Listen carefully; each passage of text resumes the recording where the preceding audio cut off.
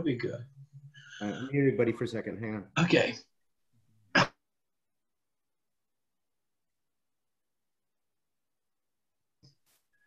On this beautiful September morning, um, we were struck before everyone got on by how joy and sorrow so often commingle. Uh, yesterday, Vern and I celebrated our 50th wedding anniversary. Uh, we were we were children when we were married. We we weren't children, but we were pretty young. And uh, then this morning we find out from Garnett that his niece um, was killed in a car accident night. So you know we live in a world where joy and sorrow are constantly with us, walking down the road with us. And we never know which one will show up uh, that day. But it's important to remember that there is a balance to it all. That joy will come in the morning after a night of sorrow. So, with that rather somber beginning, I welcome you all uh, to Virtual Church. And uh, Bryan will be taking over after Ray plays the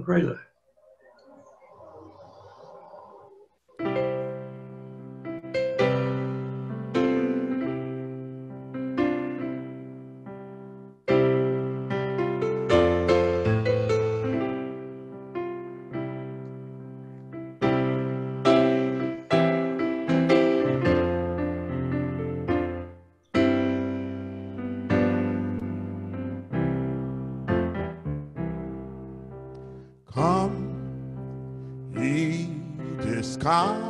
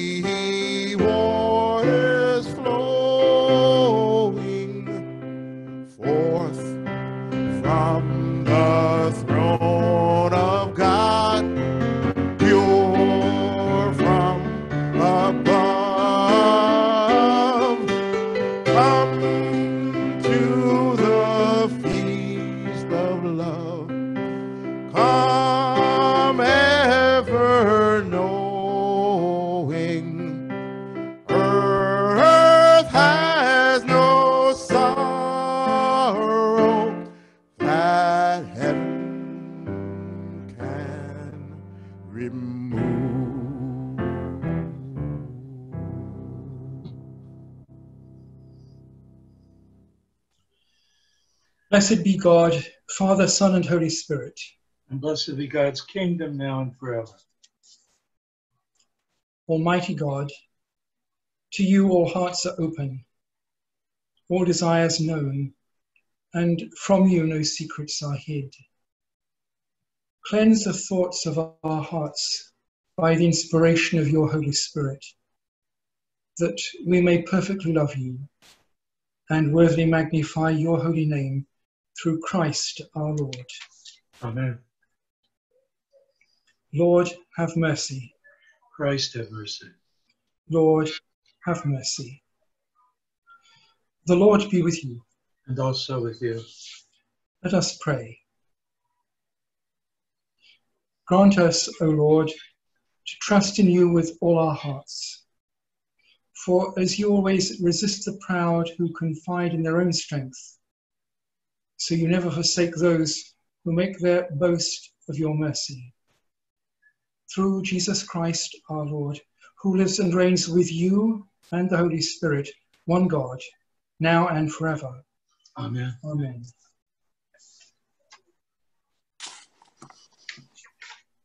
Our first reading is from Ezekiel. So you, mortal, I have made a sentinel for the house of Israel. Whenever you hear a word from my mouth, you shall give them warning from me.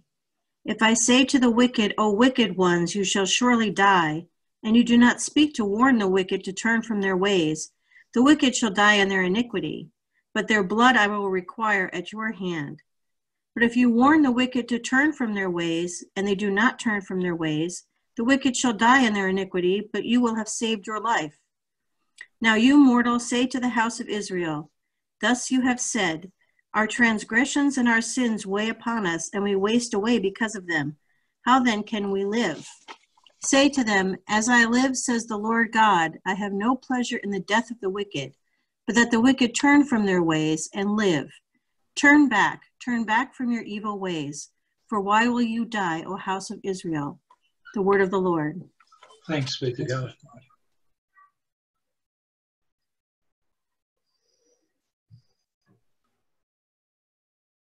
Today's psalm is 119, 33 through 40. Teach me, O Lord, the way of your statutes, and I shall keep it to the end. Give me understanding, and I shall keep your law. I shall keep it with all my heart. Make me go in the path of your commandments, for that is my desire. Incline my heart to your decrees, and not to unjust gain. Turn my eyes from watching what is worthless. Give me life in your ways. Fulfill your promise to your servant, which you make to those who fear you. Turn away the reproach which I dread, because your judgments are good. Behold, I long for your commandments. In your righteousness, preserve my life.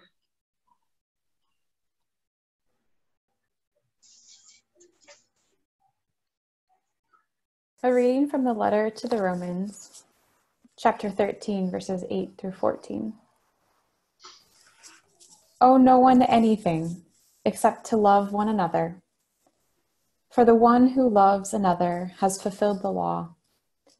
The commandments you shall not commit adultery, you shall not murder, you shall not steal, you shall not covet, and any other commandment are summed up in this word Love your neighbor as yourself.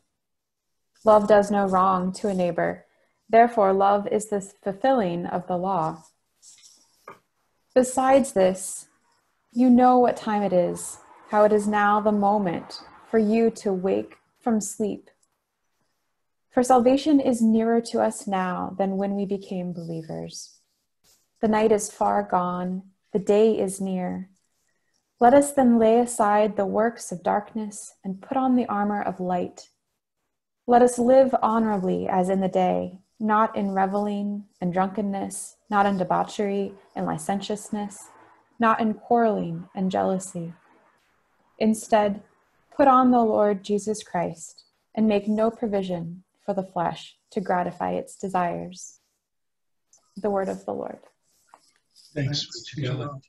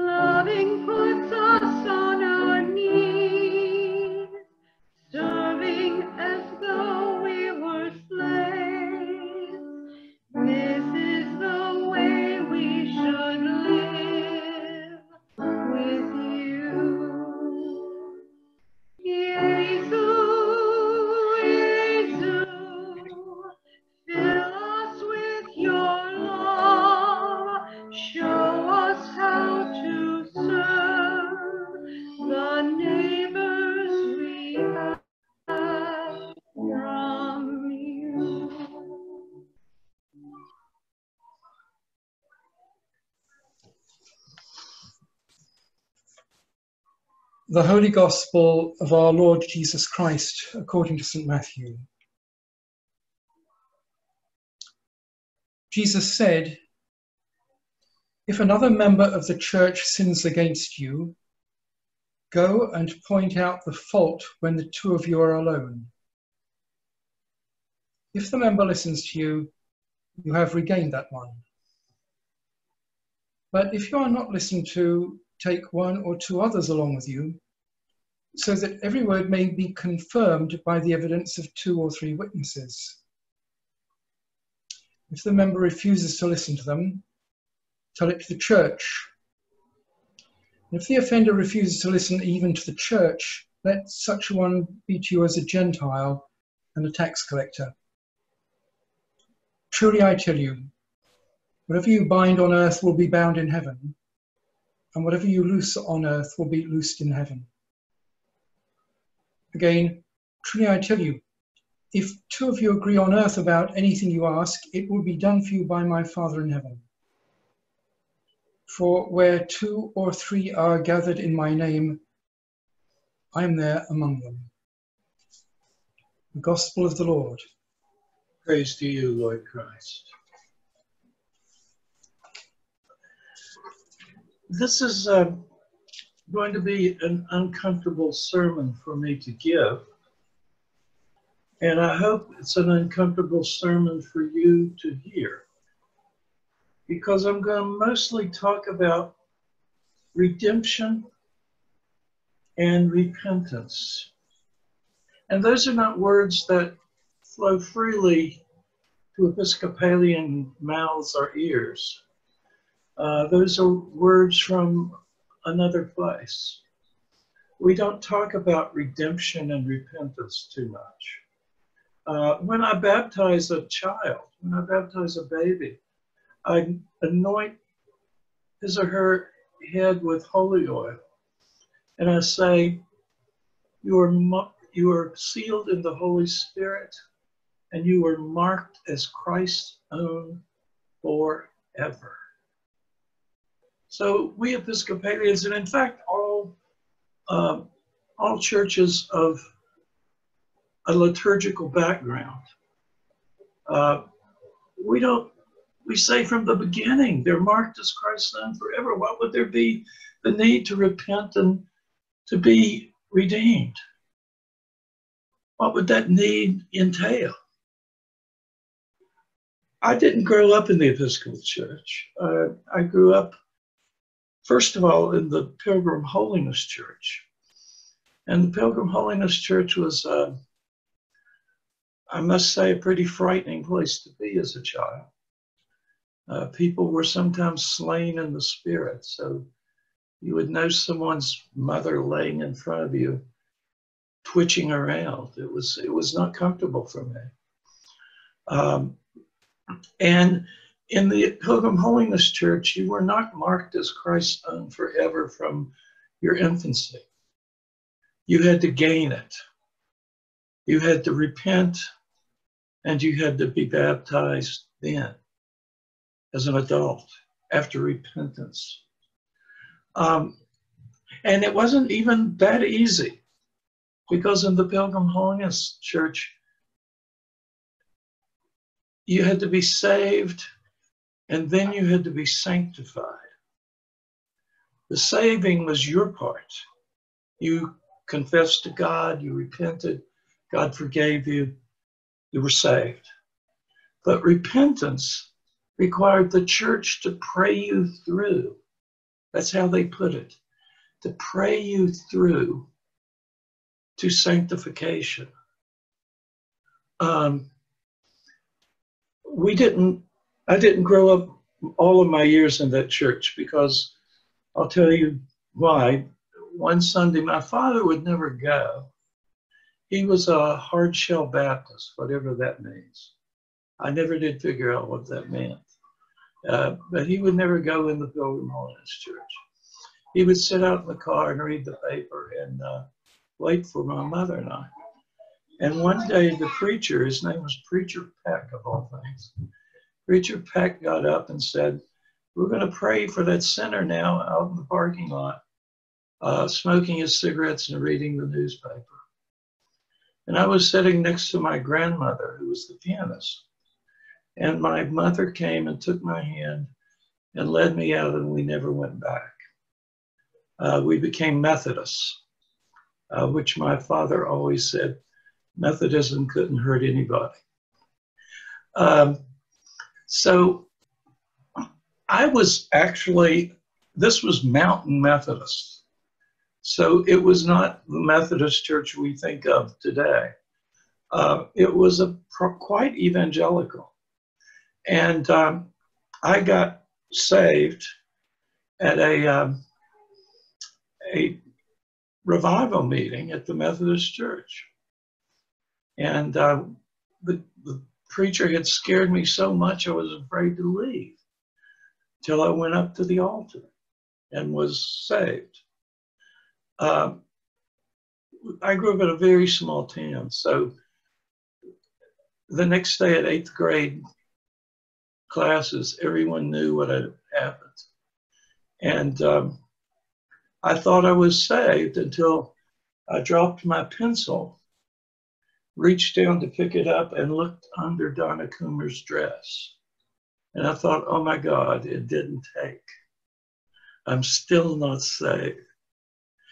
Uh, so that's where I grew up, in a place where repentance and um, to repent and to find redemption was very much a part of the fabric of the faith. Not so in the Episcopal Church. But all of the lessons today point to that. They point to the need to repent and the need to be redeemed. And so I decided I was going to struggle with that for a few minutes. And I ask you to struggle with me because I, I think it's important we struggle with it. Um, it's not our way exactly, but it certainly is something that needs to be thought of. Like this from Ezekiel. But if you warn the wicked to turn from their ways, and they do not turn from their ways, the wicked shall die in your in their iniquity. But you will have saved your life. But if you say, but if you do not speak to warn the wicked to turn from their ways, the wicked shall die in their iniquity, but their blood I will require at your hand. That certainly sounds like God is telling Ezekiel that he has to call people to repentance, that he has to call people to redemption, He has to call people out of their way. And if he does not, it's all on his head, not theirs. That should cause us pause. How often do we not call people on what they're doing? We live in a society where we almost never, you know, judge not lest ye be judged is what our society says. But then in in the, the second reading from Romans, uh, it said, Let us lay aside the works of darkness and put on the armor of light. Let us live honorably as in the day, not reveling in drunkenness, not in debauchery, not quarreling or jealousy. Instead, thank the Lord Jesus Christ and make no provision for the flesh to gratify its desires. There's so much in the Bible about repentance. Um, and just to let you know, uh, repentant redemption uh, first occurred in English in around 1300 to 1350 in Middle English. It was from the Old French and eventually from the Latin uh, redemptio, which means literally to buy back, to buy back, to redeem something. And repentance uh, is really from the 14th century in English and eventually works its way back to Latin. And it means to turn from sin, to feel regret or contrition, to change one's mind repentance, redemption. Matthew's gospel is unique in this particular reading. Um, I have a book here called Gospel Parallels uh, that puts all the things in each of the Gospels that correspond beside of each other. It's a great thing. It saves you a lot of work. Um, and if you remember, Mark was the first gospel. Uh, it was written a couple of decades before the next two, which were Matthew and Luke. And scholars are almost certain that Matthew and Luke, whoever they were, both had a copy of Mark in front of them. But they had other sources too, the Luke sources and the Matthew sources. Luke's sources are primarily compassionate. Matthew's sources are primarily legalistic and judgmental. This is what today's lesson, that lesson about if um, a brother sins against you and you tell him and he doesn't repent, then uh, go and get two to go with you and then take him before the church. And if he refuses to listen to even them, uh, let it uh, let him be as a Gentile and a tax collector to you. And those in Jewish thought in that time were about the two lowest things you could be. And the only thing that comes close to that is one line in, in Luke, Luke 17, 3. It says, Take heed to yourself. If your brother sins, rebuke him. And if he forget, repents, forgive him. That's it. None of that other complicated stuff about bringing the witnesses and all that. Um, so Matthew is is is the gospel of law. It's the gospel. Of, it's the most Jewish of the gospels. Uh, I haven't mentioned John's gospel because it just doesn't fit with the other three. You can just sort of put it over here somewhere. Um, so how do we get out of this? How do we get out of this need to confront it, to confront sin and ask people to repent or to confront our own sin and repent? Um, it's hard. It's hard to do, and let we we live in a society in the middle of this pandemic that I think many of you would agree with me is as divided as it's ever been. Uh, it is, we have taken sides, we have formed into tribes. Uh, we are, in many ways, in conflict with each other. Um, you, it's hard to find people in the other tribe that you can get along with. It's a it's a, not a good place to be in. We need to be unified. We need to be brought together in some way on, on some territory that doesn't belong to one tribe or the other, but a new territory. We need to repent on both sides. I'm not just saying one side needs to repent. We need to repent on both sides of how we have shut the other out. So, what is the answer to this? What are we to do? And of all places, for me, the answer comes from Paul. Uh, I know this will get me in trouble with someone, but I'm not a big fan of Paul.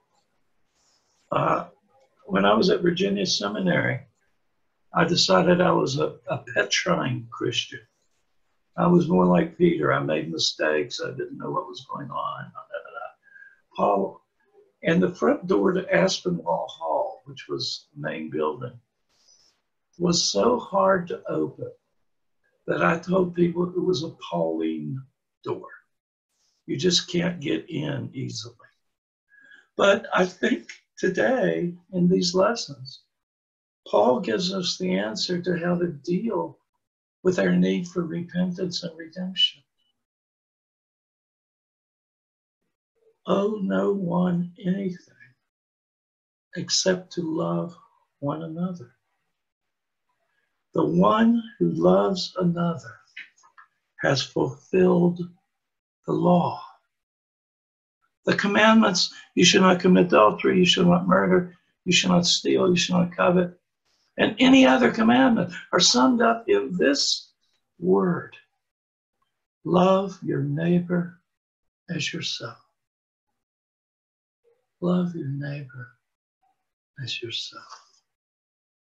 What we are required to do, beloved, is to love our neighbor no matter which tribe our neighbor is in, no matter which level they stand at no matter what they believe, no matter how they act. We are called to love them. And in loving them, we fulfill the law. We fulfill the law by loving. And in that love, we find redemption. In that love, we find repentance.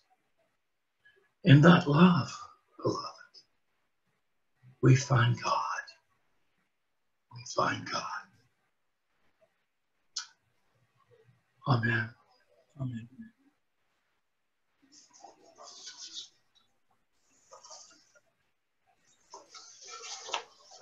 I begin this morning with a creed from the Iona Abbey worship book that was included with our readings this morning. And you're welcome to join in and read with me, or if you'd like to listen to the words, that would be fine.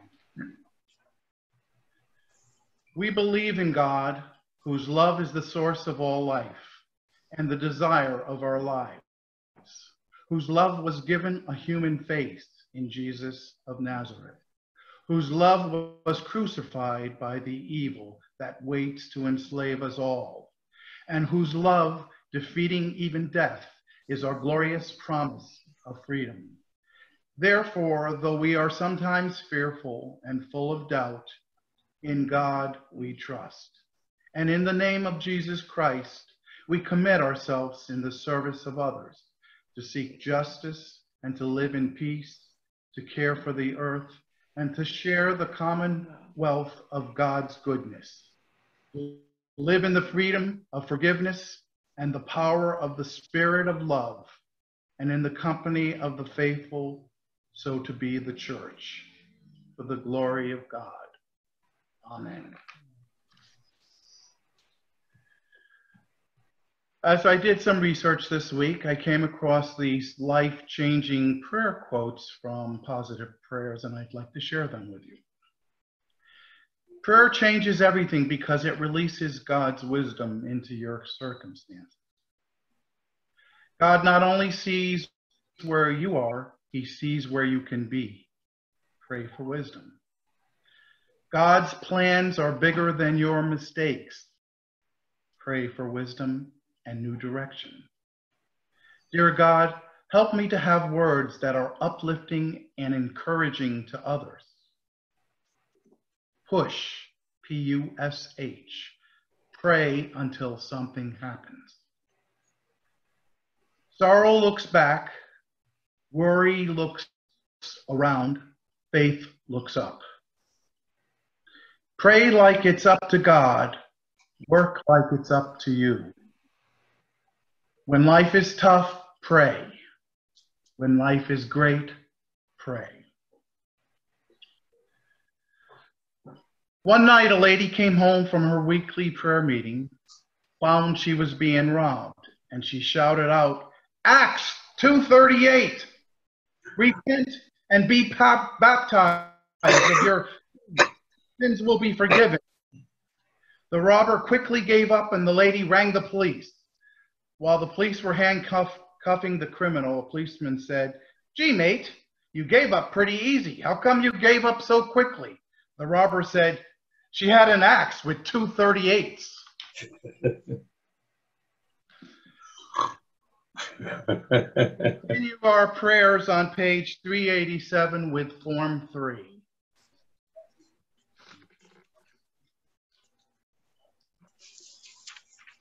Father, we pray for your holy Catholic Church. That we all may be one. Grant that every member of the church may truly and humbly serve you. That your name may be glorified. Glorified by all people. We pray for all bishops, priests, and deacons. That they may be faithful ministers of your word and sacraments. We pray for all who govern and hold authority in the nations of the world. That there may be justice and peace on the earth. Give us grace to do your will in all that we undertake. That our works may find favor in your sight. Have compassion on those who suffer from any grief or trouble. They may be delivered from their distress. Give to the departed eternal rest. That light shine upon them. We praise you for your saints who have entered into joy. May we also come to share in your heavenly kingdom. Let us pray for our own needs and those of others. We have continuing prayers for Jim for his second eye surgery this Tuesday and safe travels for Nan and Jim and the family as on this holiday weekend and everyone who's traveling. Um, we have been asked by Kathleen at Amazing Grace, um, that Andy Rapp, who works there, underwent some minor surgery, which was more serious than expected. So we sh- should keep him in our prayers and um, also Chris from Amazing Grace, whose daughter Pamela, keep her in our prayers. Um, from Deb, her son-in-law's mother, Marianne Drew, passed away this Friday. Let's keep the Albert family in our prayers. I ask prayers for my brother who is dealing with this tragedy. I ask prayers for our children and for our pets. I also give thanks for all that we are and all that we can be through Jesus Christ, our Savior, our Lord. Amen. Amen. We also give thanks for those celebrating birthdays and anniversaries this week. Not only Jim and Vern, but uh, Aunt Nancy and Dick Thompson uh, had a milestone as well. And um, for our cluster churches uh, in the MACM Network, St. Andrews, St. James, and Emmanuel, and all those who visit us um, far and near.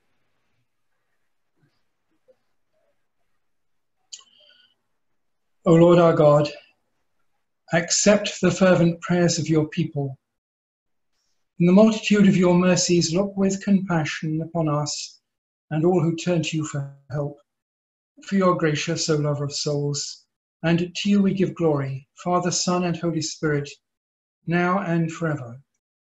Amen. Amen. Christ is our peace. He has reconciled us to God in one body by the cross. We meet in his name and share his peace. The peace of the Lord be always with you. Also with you. Uh, those of you that have uh, um, elements of uh, bread and wine, I invite you now to take them.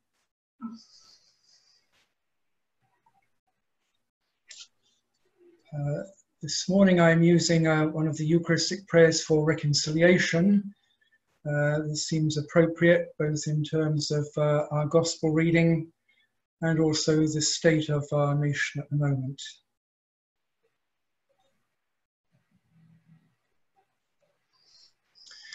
The, the Lord be with you. And also with you. Lift up your hearts. We lift them to the Lord. Let us give thanks to the Lord our God. It is right to do. Father, all powerful and ever living God, we praise and thank you for your presence and action in the world. In the midst of conflict and division, we know it is you who turn our minds to thoughts of peace. Your spirit changes our hearts. Enemies begin to speak to one another. Those who are estranged join hands in friendship. And nations seek the way of peace together.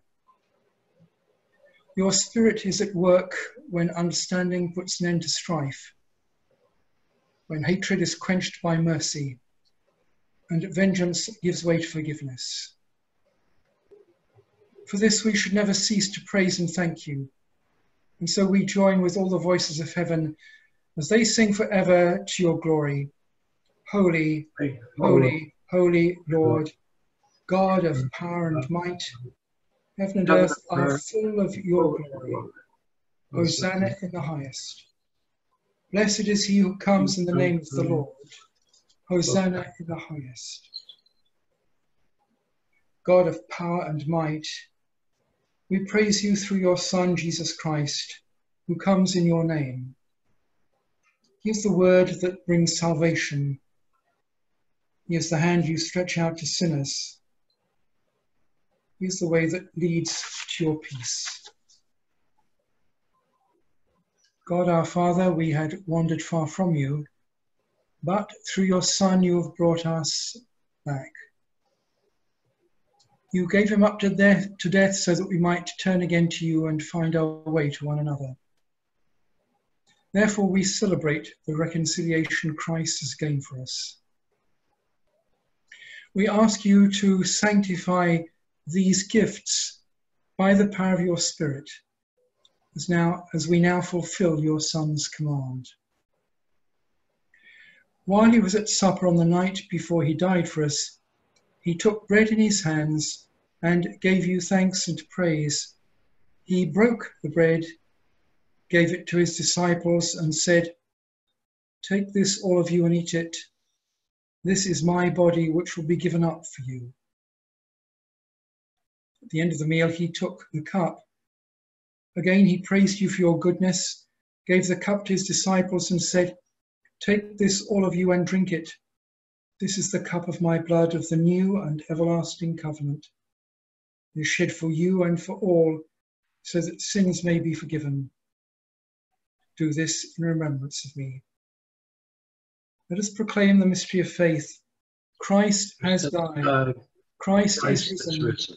Christ will come again. Lord our God, your Son has entrusted to us this pledge of his love. We celebrate the memory of his death and resurrection and bring you the gift you have given us, the sacrifice of reconciliation. Therefore, we ask you, Father, to accept us together with your Son. Fill us with his Spirit through our sharing of this bread and wine. May he take away all that divides us. May the Spirit keep us always in fellowship with all your with, all our fellow believers. Make your church throughout the world a sign of unity and an instrument of your peace. You've gathered us here around the table of your Son in fellowship with the Blessed Virgin Mary, Mother of God, with St. Andrew, St. James, and all your saints. In that new world, where the fullness of your peace will be revealed, gather people of every race, language, and way of life to share in the one eternal banquet with Jesus Christ our Lord. Through him, with him, and in him, in the unity of the Holy Spirit, all glory and honor is yours, Almighty Father, forever and ever. Amen. Amen. Now, as our Saviour Christ has taught us, so we pray. Our Father, who art in heaven, hallowed be thy name. Thy kingdom come, thy will be done, on earth as it is in heaven. Give us this day our daily bread, and forgive us our trespasses, as we forgive those who trespass against us. And lead us not into temptation, but deliver us from evil. For thine is the kingdom, the power, and the glory, forever and ever. The body of Christ keep you in eternal life. Amen.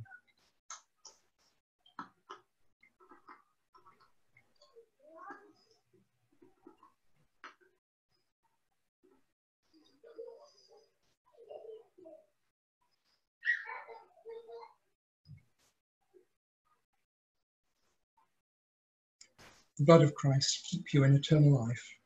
Amen.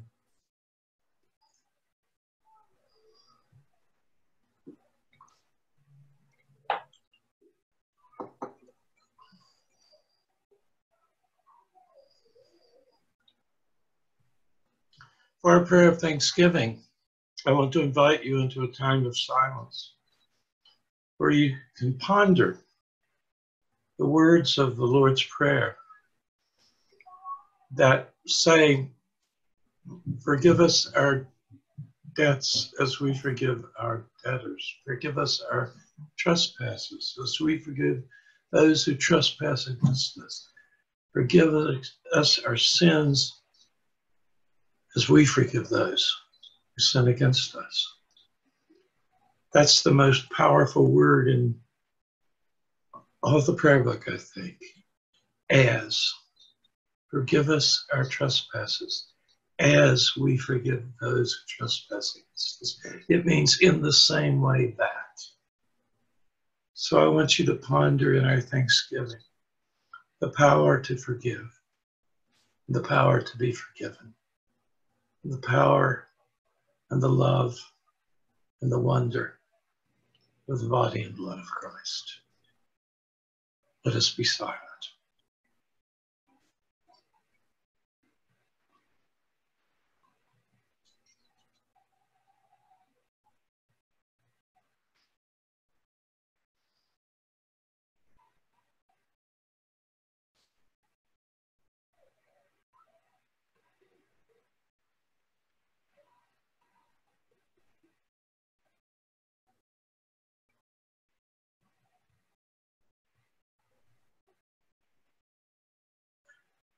Our love for each other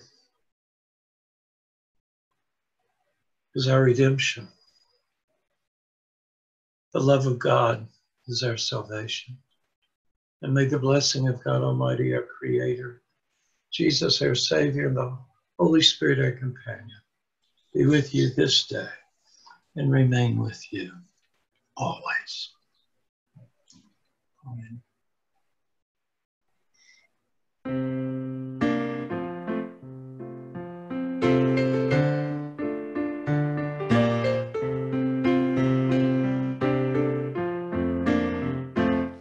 Glory, glory, hallelujah. Since I laid my burden down. Glory, glory, glory, glory. Since I laid my burden down, I feel better, so much better. Since I laid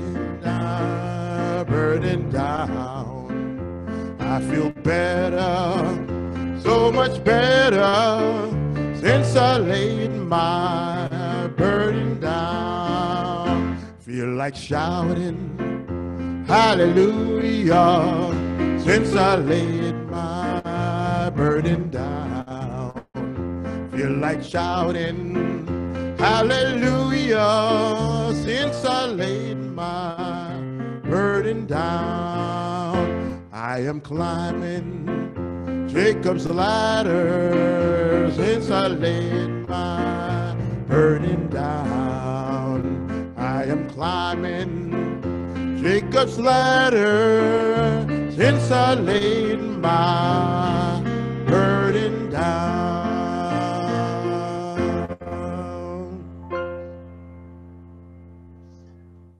Hallelujah, hallelujah. Go in peace to love and serve the Lord. Thanks be to God. Hallelujah, hallelujah. Thank you for being here. Go in peace, unless you want to stick around and say anything to anybody. Uh, he's a tough read. What's that mean, Kevin Barnett? Paul, Paul's a tough read. Oh, yes, yeah. But he ha- he has great introductions to his, his stories, though. Welcome to the grand ballroom of the. Jim, I meant to ask in the beginning because uh, I've read or we read something in your blog about your back. Yeah, How's it doing? it's been doing well. I think the, I, you know, I, I've had it x-rayed and it's, I don't see anything. I'm going to go to another doctor and have some more tests. But uh, uh, I think the problem was the two times it really, it sent me once to the emergency room, once to urgent care, was because I was, uh, I was asleep and didn't feel it coming. So every other day or so, I feel a little twinge, and I take a these 500 milligram pills that Burton found me. I don't know what they are, and um, it, it They goes can away. hear. And he has back problems. What? Les was just explaining it to her mother. Hey, other Deb, how are you? I have to scroll around to see everybody. Uh, Ray, thank you for those songs today. These were perfect. Mhm. And hey, Yesu, Yesu is one of my favorites. Yeah. I want it at my funeral.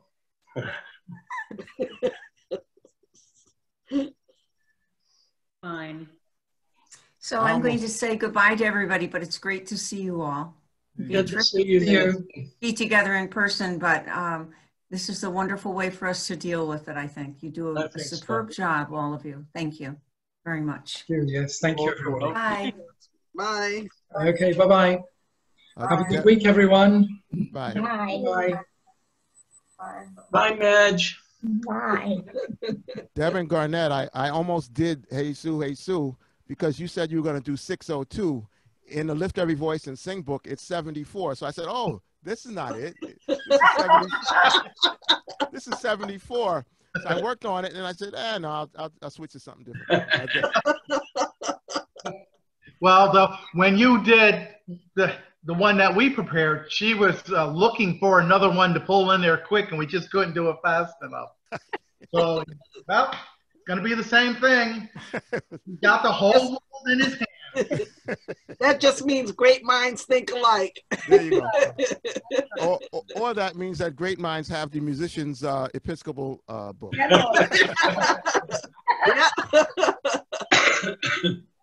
Hi, Yep. Jane. It's good to see you. Hi. Ryan. Hi. Oh, by the way, I did figure out where this where this uh, picture came from. It's um actually we got this in South Carolina. It's um a place called Mount Pleasant in South Carolina. Um, I have some family close. Oh, close to there. sure. Yeah, that's what that is. Beautiful. Nice, nice picture. All right, my friends, have a good week. Everybody have a good week. See you next week. Bye. Bye. Bye, everybody. Vy, I'm gonna get your uh, number from Ted, I guess, right? Yeah, or I can just email you. That'll be perfect. And then you Okay. have both. Mm-hmm. Great. Okay. See you Thanks. soon. Bye. Vy, You guys are all great. Thank you so much. Yeah. we'll Set up on Thank you. And we'll set up for next week, okay? For What? the Zoom? Yeah, Vy, on- once you get set up on that account that Ann set up for you, for us, um, get in touch with me and let's, let's schedule for next week, Yeah. okay? Yeah, I just don't. I just emailed Anne earlier to let her know it needs to be set up on my other email. So I won't. I'll wait till I have access to that, but I'll do that as soon as I. Yeah, I'll send that to you. Great. All right. Thank you. Have a great week, everybody. You too. See you a little around one. Bye. Sounds good, Jim. Thank you.